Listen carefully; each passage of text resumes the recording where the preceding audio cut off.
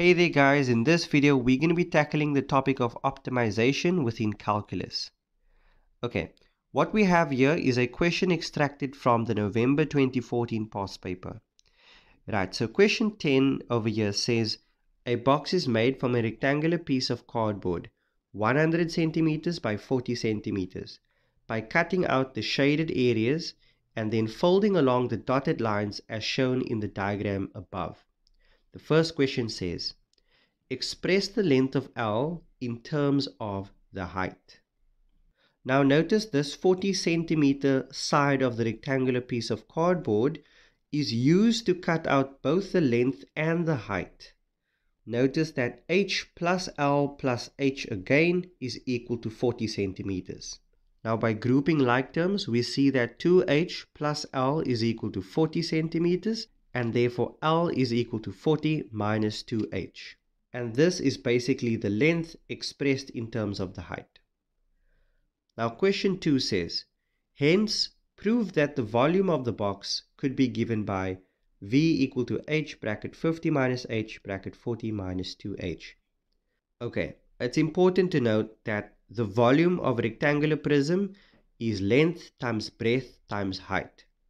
We've already expressed the length in terms of the height. Now we need to do the same for the breadth. Now let's again refer to the second picture. Notice that the length of 100 centimeters should be the same for the bottom length. So h plus b plus h plus b again is equal to 100 centimeters and therefore 2h plus 2b is equal to 100 centimeters and 2b is equal to 100 minus 2h. Dividing both sides by 2 gives us b equal to 50 minus h. So substituting back into our volume formula, length times breadth times height, if we just rearrange it as height times breadth times length, then substitute our length and breadth, we get the volume as required. Right, so on to the third question here.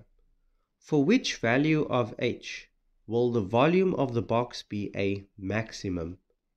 Now for these maximum and minimum questions, well in this case it's maximum, all you need to do is take the derivative and make it equal to 0, then solve that variable. So in this case we're taking the derivative of the volume with respect to the height and making that equal to 0. But let's first simplify this equation we have for the volume by multiplying out. Okay, so multiply it with the brackets, then also multiply with the h. Once you have it in this form, you can now take the derivative. So here we have a trinomial or a quadratic equation. To solve h, make use of the quadratic formula and you'll find two answers. h is either equal to 8.8 or 37.86. One of these answers will give us a maximum volume and the other answer will give you a minimum volume. Since the equation of our volume represents a positive cubic function, it means the first x value will give us our maximum and the second our minimum. Therefore, 8.8 .8 is the h value that would give us a maximum. Let's try another question. Okay, this one is an extract from the 2016 February paper 1. A soft drink can has a volume of 340 centimeters cubed, a height of h centimeters, and a radius of r centimeters. Our first question is to express h in terms of r. Now in order to do this, we need to consider what was given to us in the beginning we have the volume of the can. Now the volume formula for a cylinder is pi radius square times height. Divide both sides of the equation by pi r square and that gives us h equal to 340 divided by pi r square. And that's what was required. Question number 2. Show that the surface area of the can can be given by AR now A for area with respect to r, the radius, is equal to 2 pi r squared plus 680 times r to the power of negative 1. In order to do this, we first need to recall what is our surface area formula for a cylinder. Now the surface area formula for a cylinder is 2 pi r squared plus 2 pi r times h, the height. Remember we expressed the height in terms of r, so let's substitute that.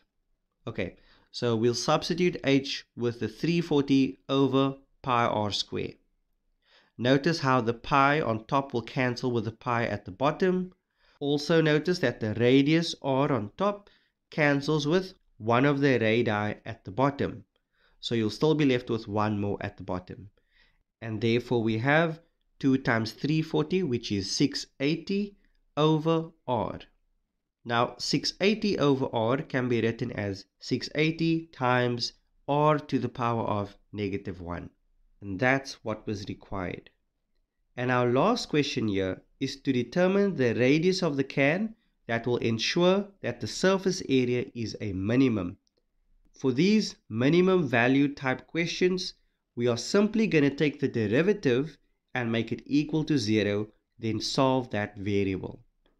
So let's first take the derivative of this area formula with respect to our radius.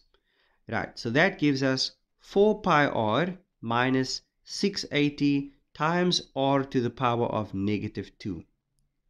Let's again rewrite the 680 as a fraction. So that would be 680 divided by r squared. Now take it over to the other side. So we have 4 pi r equal to 680 over r squared. Then cross multiply.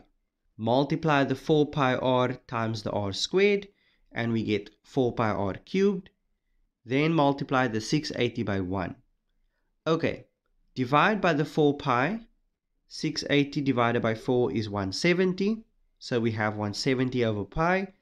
Then we can take the cube root on both sides and r is equal to 3.78 centimeters. And that's the radius of the can that will ensure that the surface area is a minimum. And that's all you need to know about these maximum and minimum type questions. If they ask for the maximum value or minimum value, all you need to do is take the derivative and make it equal to 0. Thanks for watching. My next video will be on rate of change, so stay tuned for that one.